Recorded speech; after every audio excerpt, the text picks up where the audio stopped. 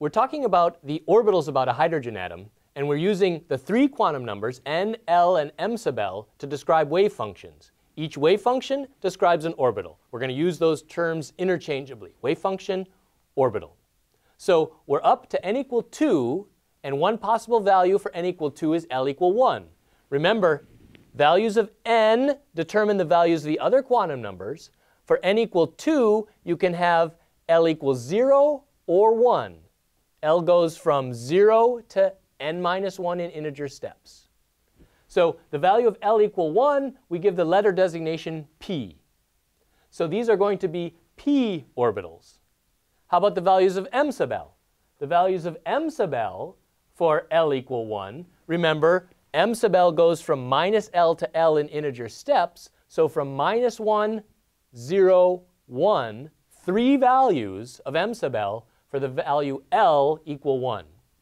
So we're going to have three different p orbitals. m sub L equal minus 1, m sub L equal plus 1, and the m sub L equals 0 option.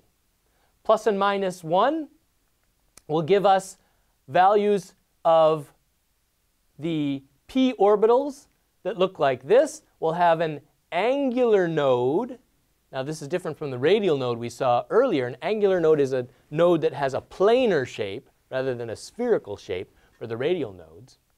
And we'll have three possible values of m sub l, so three possible values of the uh, p orbitals. Here I've drawn px and py, where the, the square of the wave function is large around the y-axis for the py.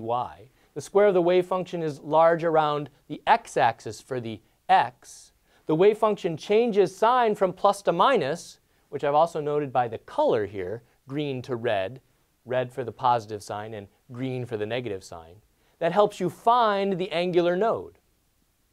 Now, there's one other value of m sub l equals 0, and that will give you the pz orbital, where the square of the wave function has its maximum along the z-axis.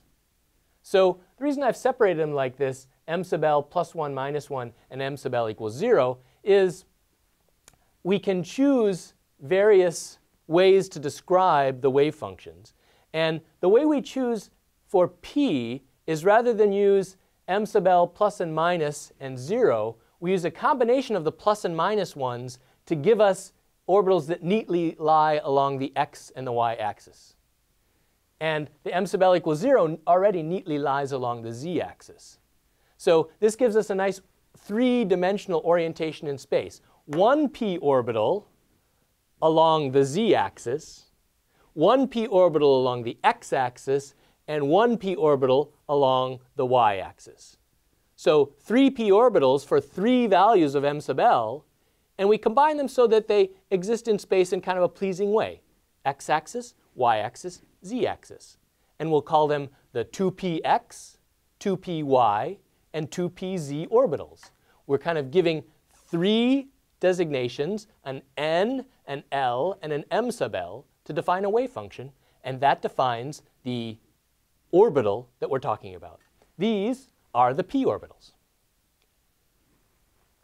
Now, we can continue. If we go to n equal 3, we're allowed to have L values 0, 1, and 2. So we'll have a 3s. That'll be spherically shaped. It'll have two nodes now, two radial nodes, because the total number of nodes is n minus 1. We'll have some 3p orbitals. That is, n equal 3, L equals 1 and those will be shaped like the 2p orbitals, except n is 3, so they'll be further from the nucleus, larger distribution, and they'll have an extra node, an extra radial node, because of the higher quantum number. When you get to L equal 2, now we can have five possible values of m sub L. Remember, L equal 2 means m sub L goes minus 2, minus 1, 0, 1, 2. Five values of m sub L. So there's five orbitals in the d value. L equal 2 is, we give the designation d. Five energy equivalent d orbitals that have different orientations in space. And the d orbitals, we're not so concerned that you know the exact spatial representation, but we've got them here, and they have more complicated designations. This, for instance, is a d orbital that lies along the z-axis, the dz squared orbital.